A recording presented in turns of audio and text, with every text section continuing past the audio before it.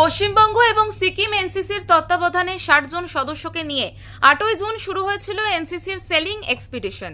ফারাক্কা থেকে কলকাতা পর্যন্ত চারশো দশ কিলোমিটার এলাকা জুড়ে হুগলি নদীতে চলেছে এই অভিযান। কুড়ি দিন ব্যাপী চলেছে এই অভিযান।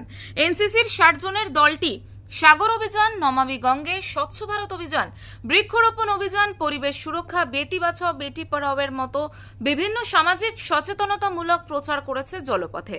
জঙ্গিপুর, বহরমপুর, কাটোয়া, নবদ্বীপ, কালনা, চুঁচুড়া, দক্ষিণেশ্বর হয়ে অভিযানটি শেষ হল আঠাশে জুন। উল্লেখ্য, উনিশশো আটচল্লিশ সালে গঠিত হয় এনসিসি, ভারতীয় সশস্ত্র বাহিনীর যুব শাখা এটি। ভারতীয় সেনা, ভারতীয় বায়ুসেনা এবং ভারতীয় নৌবাহিনীর বিভিন্ন কার্যকলাপের বিষয় বিভিন্ন স্কুল কলেজের পড়ুয়াদের প্রশিক্ষণ দেওয়া হয় এনসিসিতে।